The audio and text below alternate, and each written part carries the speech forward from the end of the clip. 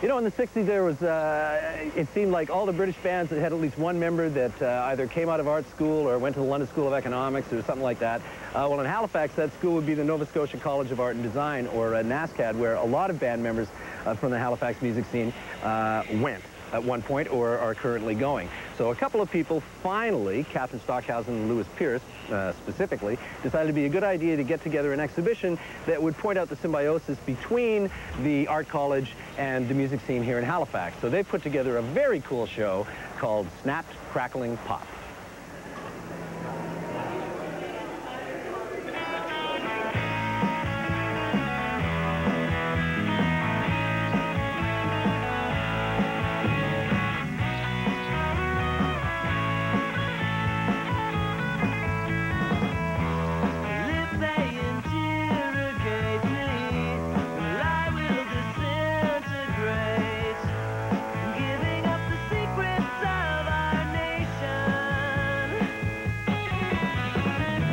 Idea has been in the works for probably three months. three months. Three yeah. months. Um, the majority of collecting has happened in the last week.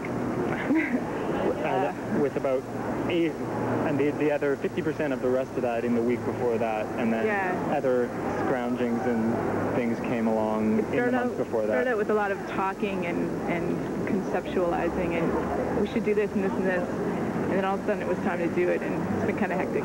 A lot of the first meetings that we had were about it were just on writing down everybody we knew who had stuff, and then when we'd mention it to them, they would suggest other people and other people and other people and so on. There's still things that we could have would have liked to get, but I can't really think about that too much now. There's a lot of stuff I'd never seen, mainly stuff pre 87 or something. Um, we got uh, gig flyers from the late 70s, which is pretty cool.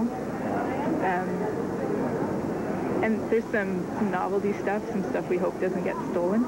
Not everybody who's in the show is necessarily a Nova Scotia College of Art and Design graduate. Probably about 75% of the people are connected to the art college in some way or another.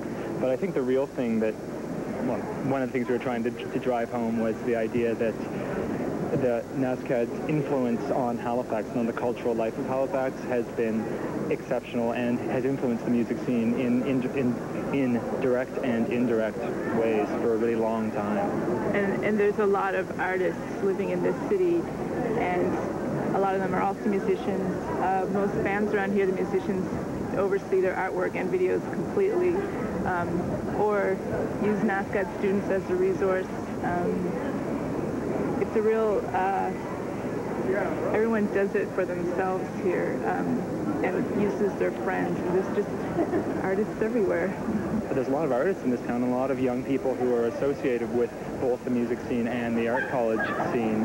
There's people who, I think, take what they're doing seriously enough, in a good way, to, to uh, think they consider themselves artists on some, on some level. So it's not just about throwing stuff together just because they can, although that's part of it. It's also like, yeah, I can make it. I can make a good picture, sure. Well, the original four members of Jale all went here at the same time, met each other, decided to form a band. Um, Chris Murphy and Andrew Scott of Sloan uh, went here. Lucas from Rebecca West. Um, the Chinstraps, which is uh, Mike Lewis and Kevin Lewis both go here or went. Mm -hmm. Bands that are 10, 15 years old are were mainly all all NSCAD students. And often because there were less reliable places to play, less venues that housed live music in this town, the Art College offered a venue for things that weren't cover bands and weren't blues bands. Things like the Null Set and the Trash Cans and the Euphonics and stuff like that through the 80s, some of which is really excellent music still today. The first lucky 50 people who got here today got a copy of the Null Set record, which is, it's a great record. It's, um, sort of like new wave Pere Ubu with experimental wah guitar. It's, it's really nifty, and it's not maybe what you'd expect coming from a small maritime town in 1979. We didn't really want to have bands playing at the opening because it might get in the way of the videos and stuff that people are seeing, because there's a lot of videos to be seen. I think that's, that's one of the things that I found most surprising in this whole thing is getting to see 30-odd videos all together. And, and they're all, the videos are all for Music Halifax bands, but also all the directors are from Halifax as well. That's That's the one rule we had about the show. Everything in there was made by Haligonians, whether born or living here at the time, going to the school. Um, it's 100% Halifax. Created. Halifax and surrounding areas. Dartmouth. Dartmouth. Super City. Yeah, it's not about the music. It's about the, it's, it's not about it's about the design. It's about the art and all that that accompanies it. Because there's lots of things that that were had really perfectly good um, musical examples and visual examples of things, but the people who made them didn't kind of fit into our conceptual criteria, which is about showing off the the art and design of the Halifax music scene of people who've been make, living and creating and making those things in Halifax. Well, that's about all the time you have left for this week. I hope you enjoyed yourself. I know I certainly